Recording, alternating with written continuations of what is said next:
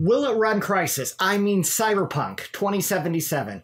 Okay, I've got this great Ampere based GPU card, an NVIDIA RTX A6000. So this is a GPU that's really meant for more than video games. It's meant for data science, deep learning, these kind of things.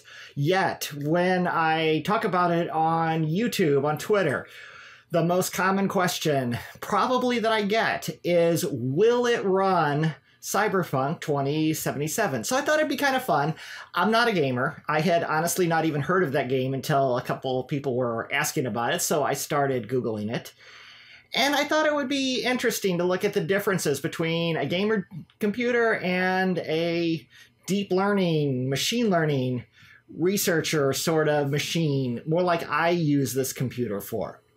So we're going to look at system utilization. I'm going to power up Cyberpunk 2077. It works actually quite well. It is getting a frame rate above 70 on 4K output. This is also my first attempt at a 4K video on YouTube, so let's see what this looks like.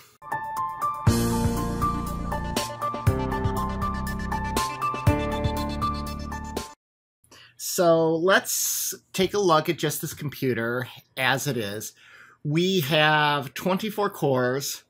So it's, you can see the complete stats to the computer here. It's got 24 cores, Ryzen Threadripper, running at nearly 4 gigahertz, and it's got 128 gigabytes of RAM. The GPU has 48 gigabytes of RAM. So this this is very much a machine learning workstation. Let's go ahead and start up the game. I'm going to keep this open because I'm going to want to look at the GPU statistics here. You can see of the 48 gigabytes of the GPU, it's hardly even being used. The shared GPU memory I don't care as much about. So let's go ahead and launch the game. Cyberpunk 2077. Skip through all this Steam stuff. You'll notice the green number that I have up at the top, that's the NVIDIA overlay that shows me the frames per second. It's doing 120 frames a second on this just interest stuff.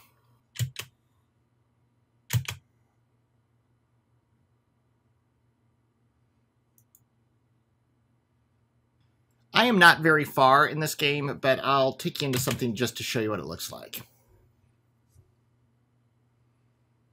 Okay, so I'm going to get back into my very expensive looking car.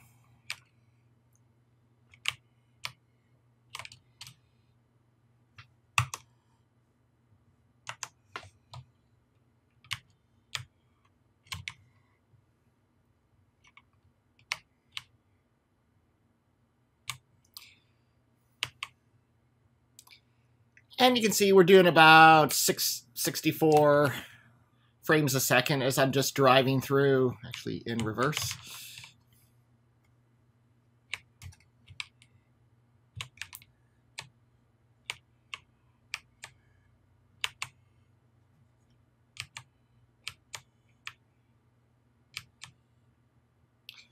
All right. Yeah, that didn't work so well. So this while it's running, while we're in the upper 60s of frames per second, if we take a look and see what this game is actually using. And by the way, I had the audio muted. I wasn't too interested in what the what the audio sounded like. So here you can see the GPU is at 80 90%, 80 six degrees centigrade. So I mean, it's it's up there, but it's by no means overheating. The memory usage, I mean, it's it's hardly using any of that forty seven point five uh, of of memory. I wish I could get an exact number on there. There's probably more advanced tools that would do that. Normally, if I'm running in Linux on, on deep learning, I'm using NVIDIA SMI, but unfortunately on Windows, it just does not give you that much detail. But in a real operating system, uh, you would you would get a lot more details there. But then you couldn't play as good at video games. If we look at the CPU, we'll see also it's it's barely using all of those cores that I have. We're using about a quarter of it. It is clocking up to give me additional gigahertz and memory of the 128 gigabytes, it's barely scratching the surface. So this machine definitely performs quite well as, as a video game machine, and in answer to those of you who are asking me, will it play Cyberpunk 2077? Yes, absolutely. It plays it really quite well. And I am causing all kinds of mayhem to this town's power grid. Thank you for watching this video, and my channel doesn't cover games a great deal, but we deal more with deep learning, artificial intelligence, so if these are your thing, then please subscribe to my channel and give this video a like. Thank you very much.